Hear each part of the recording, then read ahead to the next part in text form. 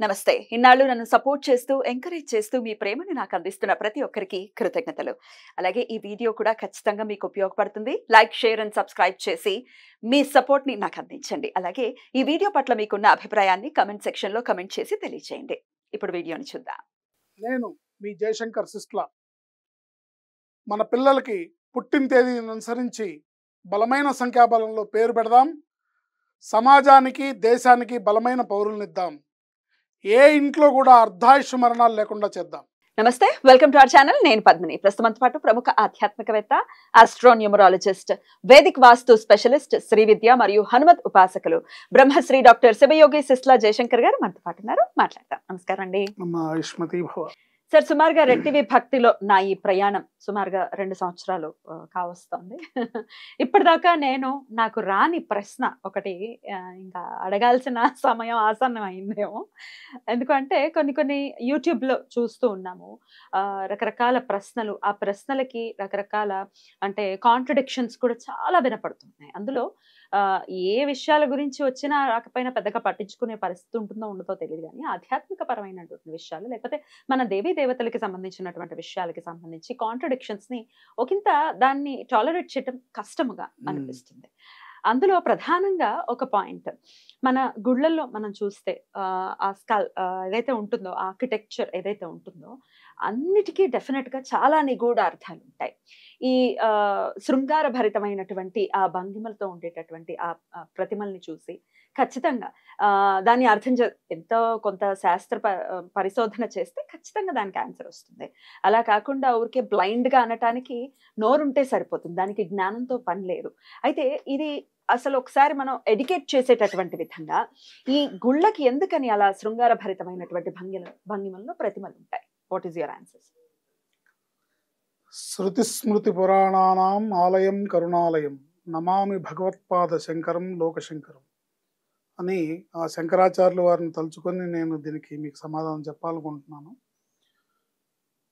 జనరల్గా చూస్తే దీని మీద ఈ సబ్జెక్ట్ మీద బోల్డని పుస్తకాలు చాలా మంది పరిశోధించి రాశారు.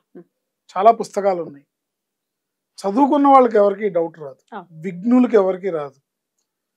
మూర్ఖులకి మూఢులకి అజ్ఞానులకు మాత్రమే ఇలాంటి డౌట్లు వస్తాయి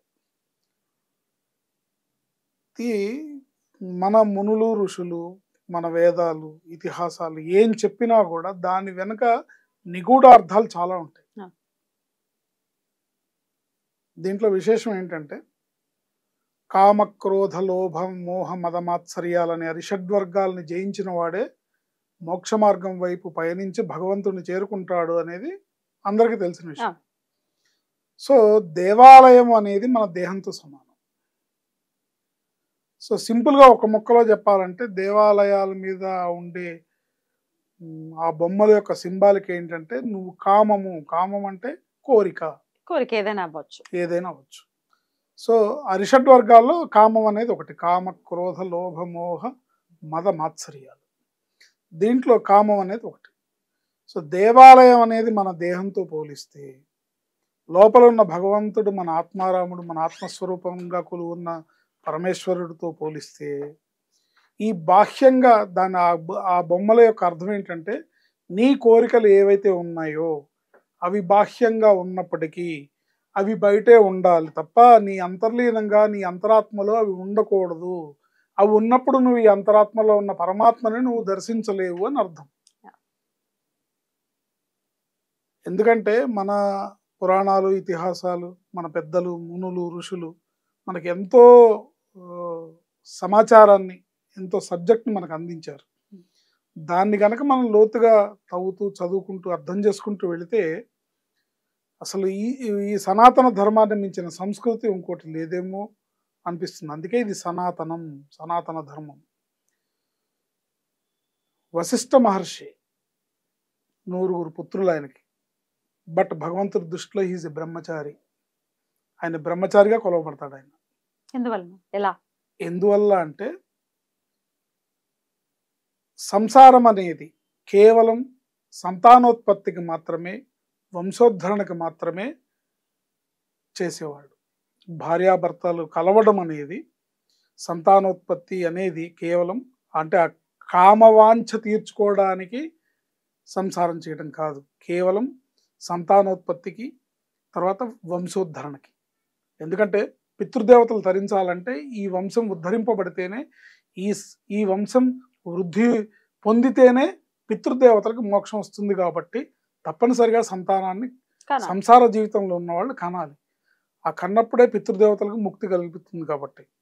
కానీ దీనికి మన వాళ్ళు పెద్దలు సూచించిన రోజుల్లో కొన్ని ప్రత్యేకమైన రోజుల్లో భార్యాభర్త సంగమించడం అనేది జరిగితే గనక అది ధర్మబద్ధమైనది.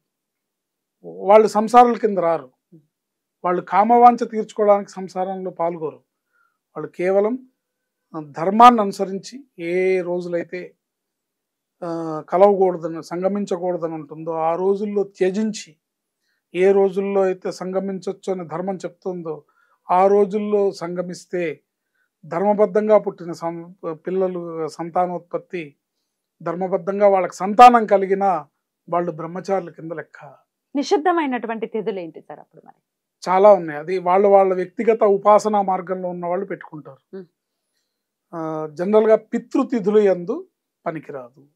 పితృతిథులు పితృ పితృతిథులు. అంటే మన తల్లి తద్దినాలు అంటారు కదా వెళ్ళిపోయిన వాళ్ళ తిథులు ఉంటాయి కదా? ఆ రోజు. ఆ రోజుల్లో పితృకర్మ చేసేటప్పుడు పితృతిథుల్లో తర్వాత ఏకాదశి ఏకాదశి. అమావాస్య పౌర్ణమి ఇలా కొన్ని నిషిద్ధమైన తేదీలు ఉంటాయి. తర్వాత ఆడవారి ఋతుక్రమం ఏదైతే ఉందో ఆరో రోజు నుంచి పదహారో రోజు వరకు కలవచ్చు అనే ధర్మం అనేది ఒకటి ఉంది. ఈ రోజుల్లో వీళ్ళు ఈ తిథులు చూసుకొని వాళ్ళ నియమ నిబంధనలు అనుసరించి అంటే విశేషమైన పర్వడ దినాల్లో సంక్రమణాల్లో సంక్రమణ సంక్రమణం ప్రతి నెల ఒక సంక్రమణం ఉంటుంది. సంక్రమణం ఉంటుంది ఆ సంక్రమణంలో కానీ విశేషమైన పర్వదినాల్లో దసరా నవరాత్రులు. పండగ వసంత నవరాత్రులు అట్లాగే పర్వడి దినాలు విశేషమైన రోజుల్లో ఇలాంటి రోజుల్లో త్యజించి మిగతా రోజుల్లో వాళ్ళు అనుకూలమా అనుకున్న రోజుల్లో సంతానోత్పత్తి కోసమని సంసారం చేస్తే అది ధర్మబద్ధమైన సంసారం. దాన్ని బ్రహ్మచర్యాన్ని పాటించినట్టే అవుతుందని భగవంతుడు వరవిచ్చారు అందుకే వశిష్ఠ మహా మహర్షికి ఓ నూరుగురు కుమారులు ఉన్నా కూడా ఆయన బ్రహ్మచారితో సమానం. సో ఈ సంక్రమణాల్లో కలవకూడదు. తర్వాత తర్వాత ఉపాసనా మార్గాల్లో కొంతమంది కొంత కొన్ని కొన్ని వాళ్ళు ప్రత్యేకంగా కొన్ని పెట్టుకుంటారు. కొంతమంది ఉంటారు. మంగళవారం నాడు మేము నియమనిష్ఠులతో ఉంటాము. శనివారం నాడు నియమనిష్ఠులతో ఉంటాము. ఆదివారం నాడు నియమనిష్ఠులతో ఉంటాము. ఇది ఎవరికి వాళ్ళు నియమించుకునే కొన్ని రోజులు. కొన్ని అందరికీ చెప్పిన ధర్మశాస్త్రంలో చెప్పిన రోజులు. అది ఎవరికైనా నిషిద్ధం ఆ రోజుల్లో. అలా అవన్నీ పాటిస్తూ ఉంటే మనం మోక్ష మార్గమైన ఈ అరిషడ్వర్గాల్ని జయించి మోక్ష మార్గం గుండా భగవంతుని చేరుతామనే ఒక సింబాలిజానికి గుర్తుగా ఇవన్నీ బాహ్యంగానే ఉండాలి తప్ప అంతర్లీనంగా మనసులో ఉండకూడదు. మనసులో ఈ కామక్రోధాది అరిషడ్వర్గాల్ని స్థానం లేకుండా కేవలం ఆ గర్భాలయమని పిలువబడే మన హృదయస్థానంలో భగవంతుడికి మాత్రమే అంతరాత్మ ఏదైతే ఉందో ఆత్మరూపు ఆత్మస్వరూపంలో ఉన్న పరమాత్మ ఎవరైతే ఉన్నారో ఆయనకి మాత్రమే స్థానం ఉండాలి మిగతా వాటికి స్థానం లేదు మిగతావన్నీ బాహ్యమే అని చెప్పడానికి సింబాలిజమే ఈ దేవాలయాల మీద ఉన్న. బొమ్మలు. అసలు ఆ బొమ్మలు అవన్నీ దాటుకున్న తర్వాతే కదా అంతరాలయంలోకి వెళ్తాం. అక్కడ మాత్రం ఈశ్వరుడు ఉంటాడు. మళ్ళీ అక్కడ ఇంకేమి ఉండవు. ఏముండవు సో అది కూడా ఒక ఇదే అర్థం. ఇదే అర్థం. ఇవన్నీ. బాహ్యంగానే ఉండాలి. ఉమ్, ఏంటి? ఇవన్నీ లోపలికి జర్నీ చేయాలి జర్నీ చేయాలి. లోపలికి పరి- ప్రయ- ప్రయాణం చేయాలంటే ఇవన్నీ బయటే వదిలేయాలి. అనేక అర్థాలు ఉంటాయి. దాన్ని దాని దిశగా మనం సాధన చేస్తే అర్థమవుతుంది తప్ప మనం ఇదెందుకు అదెందుకు? అంటే అక్కడ ఉండే శృంగార చిత్రాలని చూసి మనం ఇంకోలాగా మాట్లాడుకుంటే మనసు అటు వెళ్తుంది కానీ అసలు ఇదేంటి అని.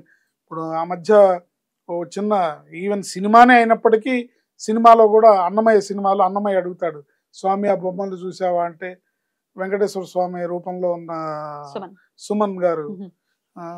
అది ఒక చిన్న డైలాగే అయినప్పటికీ కూడా దాంట్లో కూడా మంచి మెసేజ్ ఉంటుంది. సృష్టి కార్యానికి పూనుకున్న తల్లిదండ్రుల్లా కనబడుతున్నారు. అది ఒక అర్థమే. నిజమే ఏంటి? సో యాక్చువల్గా మన పెద్దలు మన పూర్వీకుల యొక్క సనాతన ధర్మంలో వాళ్ళు చెప్పిన అంతరార్థం ఇది.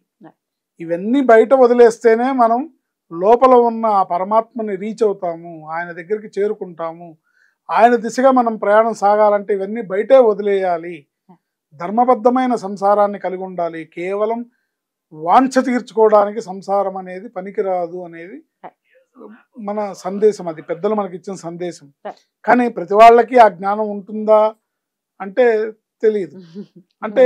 అప్పుడు ఏంటంటే జంతువులకి మనుషులకి జ్ఞానం. ఉన్న మనుషులకి తేడా ఉండదుగా. సో జంతువులకి వాటికి ఈ నియమ నిబంధనలు పోయి తిదివార నక్షత్రాలు ఏమి ఉండవు కదా వర్తించవు. కూడా. కానీ మనకి ఆధ్యాత్మిక ప్రయాణం చే చేయాలని అనుకునే వారికి భగవంతుడిని చేరుకోవాలనుకునే వారికి సాధనా మార్గంలో ప్రయాణం చేస్తూ భగవంతుడి దగ్గరికి ఆ పరమాత్మ తత్వాన్ని తెలుసుకోవాలనుకునే వాళ్ళకి చక్కగా ఇలా చక్కగా ఇలా ఆన్సర్ చేయొచ్చు చాలా హుందాగా కూడా ఆన్సర్ చేయొచ్చు అనేది అర్థమయ్యే విధానంలో చెప్పారు. Thank you so very much నమస్తే.